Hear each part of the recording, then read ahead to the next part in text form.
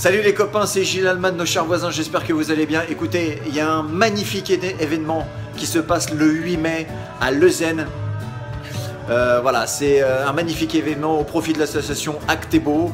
Euh, vous allez voir, c'est extraordinaire. Il y, a des, il y, a des, voitures magnifiques. Vous allez passer un super moment. Allez-y pour la bonne cause. C'est le top. Je vous fais des gros bisous et je vous donne rendez-vous le 8 mai à Leuzen pour l'association Actebo. Ciao